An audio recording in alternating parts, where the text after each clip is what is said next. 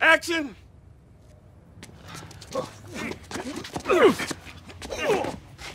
I don't stand this cat. Pretending like he know karate. Pretending like he could be a sex machine. Like a little kid playing dress up.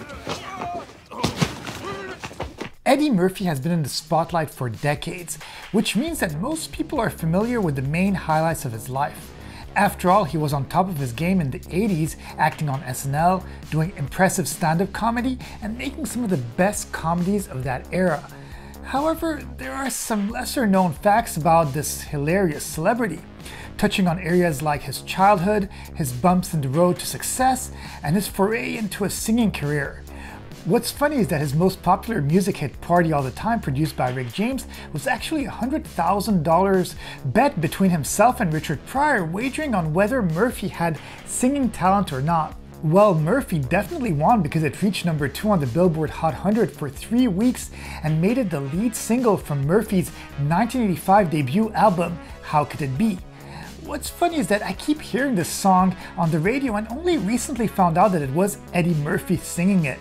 That being said, this is the third video in my Eddie Murphy retrospective. The first two videos look back at the actor's career from the 80s throughout the 90s. This video will look back at the iconic comedic actor from the 2000s to current times.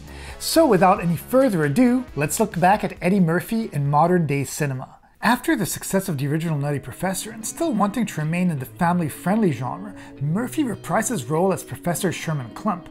Unlike the first film, Nutty Professor 2 received unfavorable reviews from critics. Adjectives such as obnoxious, lowbrow, bloated, and unfunny cropped up frequently in reviews. In contrast to the previous film, subplots which are centered on the parents of protagonist Sherman Klump occupy a substantial part of the film.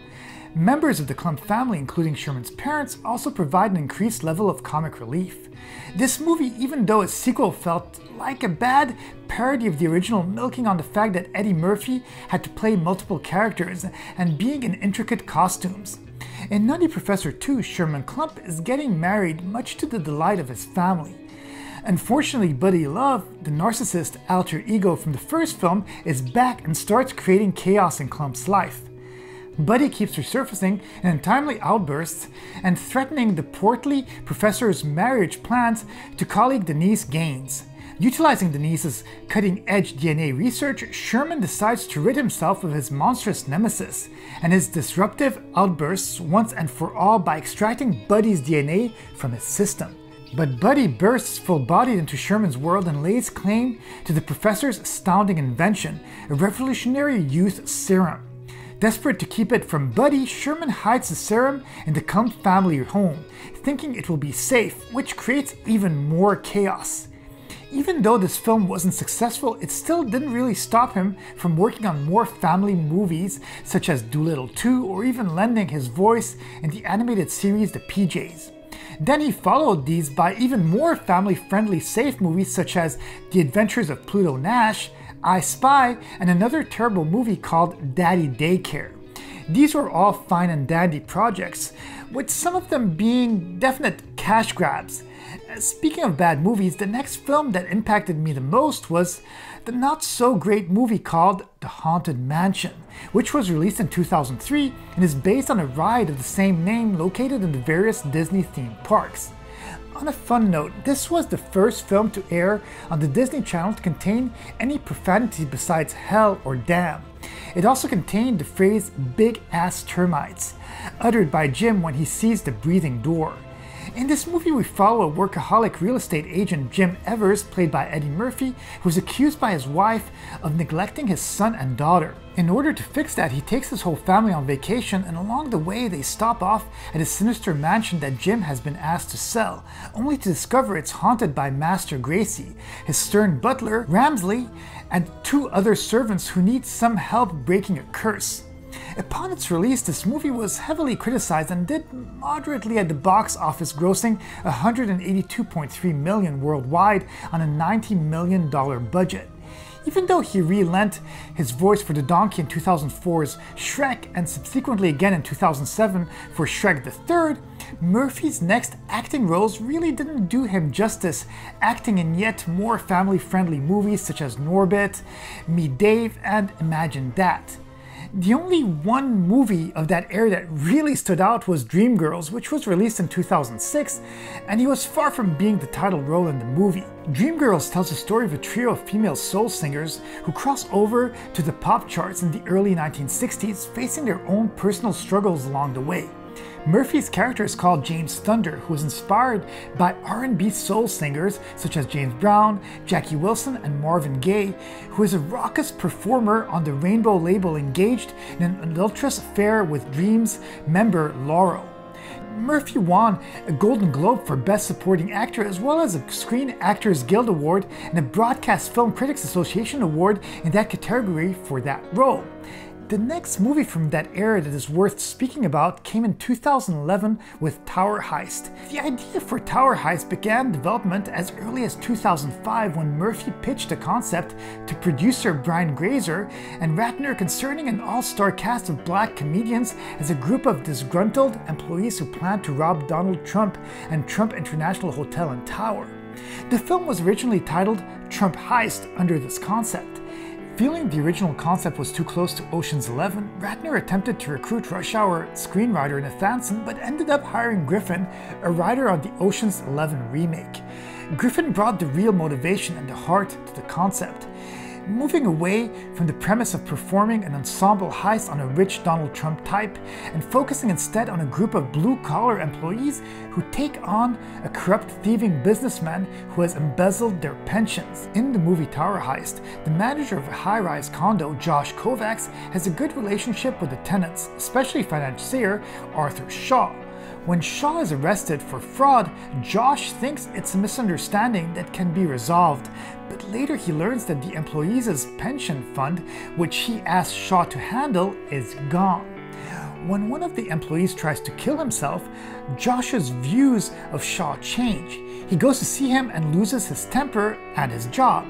An FBI agent tells him Shaw might just walk and recovering the funds is unlikely. She tells him it's been rumored that Shaw has 20 million lying around if he needs it in a hurry. Josh thinks he knows where it is, so Josh, along with two other fired employees, an evicted tenant, and a criminal acquaintance, set out to get into Shaw's and get the money. The film received mixed reviews from critics, with praise going to the cast, including Broderick, Leoni, and Stiller. Murphy's performance was repeatedly singled out, with critics feeling that he displayed a welcome return to the comedic style of his early career. Much of the criticism was focused on the plot, which was considered formulaic, rushed, and dull. Even though Murphy was somewhat back in the spotlight with this movie, it would be another couple of years until he would actually have a real substantial role. This role came with the movie Mr. Church. Originally, this movie was meant to star Samuel L. Jackson, but later that year, Eddie Murphy was hired to take over Jackson's role due to scheduling conflicts. Although it was unlike the comedy films Murphy was known for, he accepted to work on the film because it was something he hadn't done before. And I'm really glad that he did because it really is, in my opinion, the first good movie he had done in the past 10 to even 15 years. Even though some stuff he had done in the 2000s was enjoyable, nothing really stood out like his early 80s and 90s fame. Mr. Church tells the story of Charlotte Brooks, who lives with her single mother, Mary Brooks, in California. One morning, Charlie awakes to the sound and delicious smells of cooking wafting in from the kitchen. Upon inspection, Charlie is shocked to find a strange black man preparing breakfast. Her mother informs her that the man is Mr. Church and he will be their new cook. Convinced that Mr. Church would intrude on the life she shared with her mother, Charlie is initially distrustful of Mr. Church and urges her mother to fire him.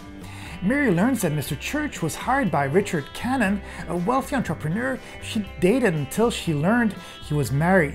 When Cannon died, he left provisions in his will that provided financial support for Mary, who was diagnosed with terminal breast cancer. The provisions were slated to last for six months to match her diagnosed life expectancy. When Mr. Church informs Mary that he was guaranteed a lifetime salary to care for the family, she decides to keep Mr. Church as their cook on the condition that he keeps her cancer a secret from Charlie. Six years later, Mary is still living, and Mr. Church has become a comfortable fixture in the household for both Charlie and her mother. What started out as a six month arrangement instead spans into 15 years, and even after Mary dies, Mr. Church remains there for Charlie as a true family member. Mr. Church received negative reviews from critics, which is really surprising because I felt that this was probably one of his best performances, and I would love to see him in more dramatic roles. In 2019, Eddie Murphy released Rudy Ray Moore's biopic My Name is Dolemite. This project started in 2003 when Murphy arranged a meeting between two writers, Scott Alexander and Larry Karaszewski, who were able to interview Moore, who told them many of his life stories before his death in 2008. However, the early attempts to make the film never came to fruition. On June 7, 2018, it was announced that Craig Brewer would direct Dolemite Is My Name, with Netflix producing and distributing it. Eddie Murphy was set to star as Moore, and later that month, the rest of the principal cast was announced. Nicholas Joseph von Sternberg, the director of photography of the original Dolemite, visited the set during filming and, according to Brewer, contributed additional stories that didn't make it into the film.